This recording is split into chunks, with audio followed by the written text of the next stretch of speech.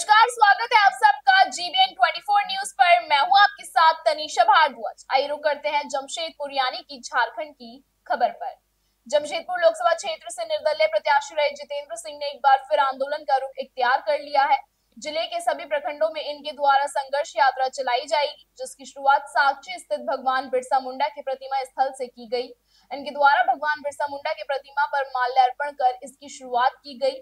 उन्होंने कहा कि आमतौर पर चुनाव के बाद जीतने वाले प्रत्याशी हैं, वो दिल्ली का रुख कर सकते हैं और हारने वाले प्रत्याशी अपने घर पर रहते हैं। लेकिन चुनाव के दौरान उन्होंने ज़िले वासियों से यह वादा किया था कि परिणाम जो भी हो, वो जन समस्याओं को लेकर मुखर रहेंगे और इसी के तहत इस अभियान की शुरुआत उन्होंने आज से की है।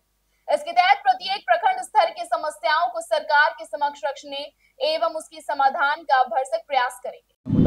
हमने लोकसभा चुनाव लड़ते वक्त एक संकल्प लिया था और जमशेदपुर संसदीय क्षेत्र की जनता के साथ एक हमारा वादा था कि मैं चुनाव जीतूं या हारूं, मैं सात जून से छः जून तक आचार संहिता था, सात जून से जमशेदपुर संसदीय क्षेत्र की जनता के साथ जो जिन समस्याओं को लेकर के वो रोज मैंने लड़ रहे हैं, उन समस्याओं पे हमारा लगातार आंदोलन चलेगा। और मैंने उसी के लिए जन संघर्ष यात्रा की शुरुआत आज से कर दी है।